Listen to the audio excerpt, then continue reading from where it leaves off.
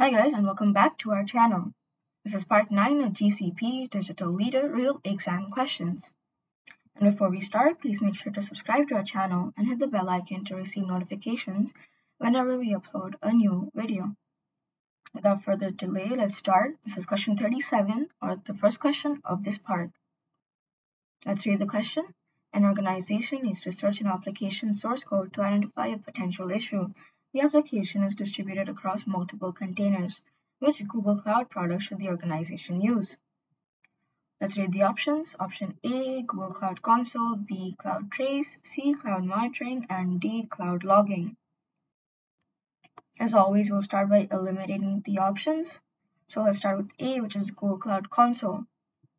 Now, Google Cloud Console just provides a graphical user interface which helps us manage our Google Cloud projects and resources. But here in the question, we need to search an application source code so that we can identify a potential issue. That won't be possible through Google Cloud Console. That is why A is not the answer. We'll cross that off. Now the thing is, it is um, Google Cloud Console still involved in this. You, you'll see why when we go to option B, which is Cloud Trace. Now Cloud Trace is just um, a tracing system which collects latency data from your applications and it displays it in the Google Cloud Console. So it's displaying it in the Google Cloud Console. And through this, we can manage our applications and receive detailed near real-time performance insights. And we can also um, in this case, we need to search for the application source code to identify a potential issue. And we can do that through Cloud Trace because we are tracing all the activities or we're tracing everything that is happening inside the application and we get near real-time performance insights. So all of this gets displayed in the Google Cloud Console, but the Google Cloud Console is not the main product that we're using. We're using Cloud Trace. That's why B is the answer. But let's see why C and D are not the answers. Now C, cloud monitoring, as you can see from the name, you can tell from the name, cloud monitoring. Monitoring, what is, what is monitoring? So it is basically a method of reviewing and observing and also managing the workflow or anything really. But in this case, cloud monitoring is reviewing, observing, and managing the operational workflow in a cloud-based IT structure. So all you're doing is you're reviewing, observing, and managing the data. It's not it is not essential in this question. All you need to do is search for the application source code so that you can identify the potential issue, which we can already do through CloudTrace. So uh, cloud monitoring is not the answer. It is not essential. All of those things are not essential in this question. So we'll cross that off. Now let's go on to D, which is cloud logging. Now, what is cloud logging? It allows us to store, search, monitor, alert the logging data and events from Google Cloud and Amazon Web Services.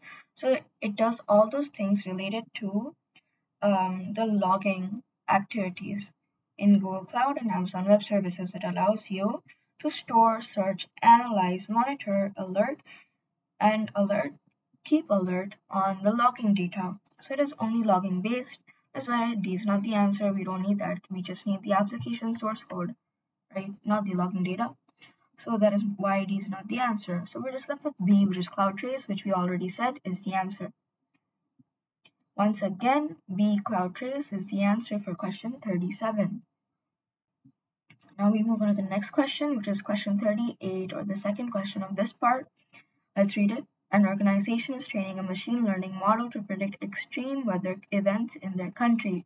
How should they collect data to maximize prediction accuracy? Let's read the options. Option A, collect all weather data evenly across all cities. Option B, collect all weather data primarily from at-risk cities. Option C, collect extreme weather data evenly across all cities. And D, collect extreme weather data primarily from at-risk cities. Alright, so this is a fairly easy question. Um, right off the bat, option A is the correct answer. Collect all weather data evenly across all cities. Now, why is that? It says how should they collect data to maximize prediction accuracy. In order to maximize any prediction accuracy, you need to give as much data available to the AI as possible or any machine learning model. That is why A is the answer as it, it is the only um, out of these, it is the only system that's giving it the most amount of data. That's why A is the answer. Once again, A is the answer for question 38. A, collect all weather data evenly across all cities is the answer for question 38. Let's head on to the last question of this part, question 39. A retail company stores their product inventory in a legacy system. Often, customers find products on the company's website and want to purchase them in store. However, when they arrive, they discover that the products are out of stock. How could the company benefit from using an application programming interface or an API? Alright, so let's read the options. Option A to create personalized product recommendations for customers. B to optimize their on-premises legacy system stability. C by manually linking each inventory system to the website on a case-by-case -case basis. And D by programmatically connecting the inventory system to their website. Okay, so right off the bat, wherever you see manually, see the entire point of cloud or the entire point of computer systems is so that your own work is minimized, right? So manual labor is minimized. But here it says you need to link each inventory system to the website on a case by case basis. You're increasing your work. There's no need to increase your work. Unless is not the answer. Wherever you see manually, just think about it. Because why would you increase the amount of effort you're putting in? The entire point of getting AI or getting any computer-based model into our lives is so that our efforts are minimalized. That is why C is not the answer, so we have crossed that off. Alright, so let's see A. Now what does A say? It says to create personalized product recommendations for customers. But here in the question, the main problem the customers are facing is that when they come um, in the real store, they come to the real store, they see that the products that they want are out of stock, even though they were available on the company's website. So, while creating personalized product recommendations for the customers isn't going to do anything, the problem they're facing is that the products they want are not available in the actual store, but they have had the false hope because they see it on the company's website. So that is the main problem that they're having. So what is creating a personalized product recommendation for the customer is going to do? This way is not the answer. Let's cross that off.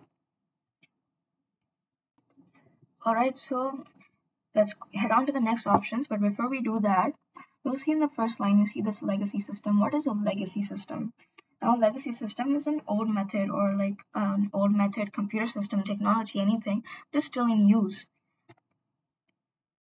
Now, why is it called a legacy system if it's an old method? The thing is, legacy systems, they paved the way for the modern technology. They've paved the way for the standards that follow the systems. That is why they're still in use, but most of the time they're replaced by modern systems. Well, let's see B, which says to optimize your on-premises legacy system stability. It's telling you to make the best or most effective use of the legacy system on in the premises or on premises. But the main problem that, that's been faced by the customers uh, regarding this question is that the products are out of stock. So what is going to fix that is when the inventory system is connected to their website. So you get real-time data. You know when the product goes out of stock so you don't have the false hope that the product is still available. So optimizing their on-premises legacy system stability isn't going to do as much as D, which says by programmatically connecting the inventory system to their website. That is the answer. This is perfect. That is what we're looking for. It is the answer. So let's cross B off because D is a better option because we're actually connecting the inventory system to their website. So once again, B by programmatically connecting the inventory system to the website is the answer for question 39. Alright guys, that was the end of this part. Once again, please make sure to subscribe to our channel and hit the bell icon. Also leave a like and comment down below. That was the end of GCP Digital Leader Real Exam Questions Part 9. See you guys in the next part.